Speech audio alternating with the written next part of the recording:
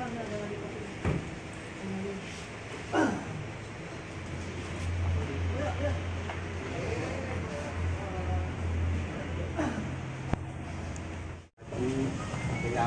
ada beli eh, dan.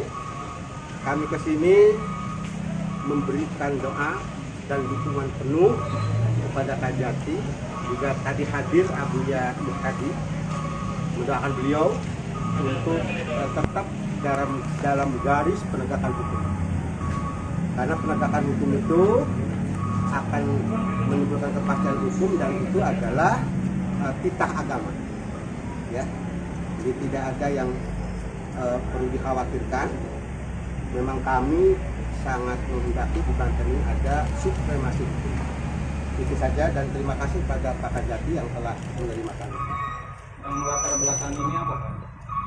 Ya berbagai kasus korupsi lah ya, terutama menyangkut dana hibah kontes. Tujuannya adalah kita melindungi pesantren agar pesantren tidak dijadikan alat oleh oknum-oknum siapa pun itu oknumnya yang merampas hak pesantren. Ya. Artinya yang mempermainkan pesantren. Itu aja. Kita tidak ada tuduhan-tuduhan. Semua kita tahu bahwa dalam hukum itu adalah tetap menganut asas praduga tak bersalah. Dan saya mohon kepada semua pihak untuk tidak lagi apa ya membuat kegaduhan dalam pengertian ikuti saja proses hukum ikuti saja proses hukum insya Allah kalau kita mengikuti proses hukum itu adalah bagian dari kita eh, membangun kesadaran hukum yang benar pasti benar. Yang salah harus rela menerima akibat kesalahannya karena hukuman itu pada sesungguhnya adalah untuk eh, apa mengevaluasi diri kita. Jadi itulah sebetulnya upaya langkah eh, menuju kita memperbaiki diri kita Jadi tidak ada tendensi apa apa kecuali mensupport Kajati eh, harus on the track so must go on tegakkan hukum dan kita akan eh, ikut di belakang Pak Kajati Pak Negati tanggapannya sedikit.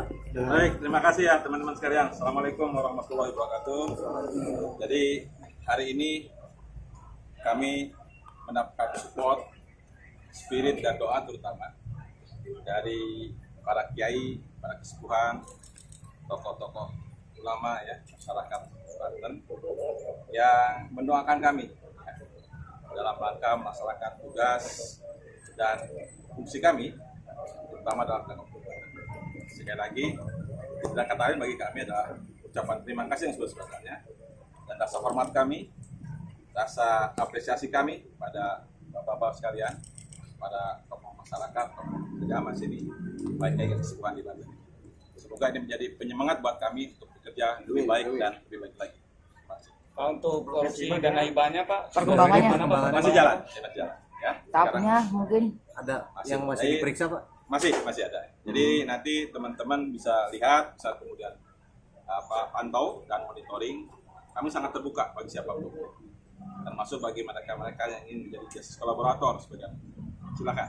Sejauh ini sudah dari pihak mana aja pak yang Kenapa? diperiksa pak sudah dari pihak mana saja yang diperiksa Eh, berbagai pihak ya, termasuk juga kami sudah meminta keterangan ahli ya, untuk melengkapi berkas perkara dalam penyidikan eh, kasus dugaan ya, atau perkara dugaan tindak pidana korupsi dalam eh, penyaluran dan hibah untuk pesantren 2018 dan 2020.